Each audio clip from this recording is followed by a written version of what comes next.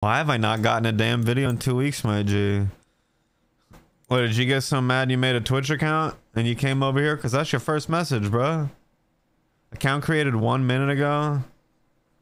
Chat, one of the benefits to taking a couple weeks off of posting on the tubes is I get people so steamed up, bro. They get a fresh new account to come over here and me out. Like, dude, Had to come to your Twitch because you ain't been posting on the tubes. Where you at? Boom, free Twitch follows. Easy.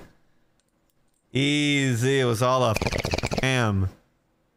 I wasn't taking a break for Christmas and New Year's and relaxing. I was scheming and plotting on how to get more people into the Twitch and it worked.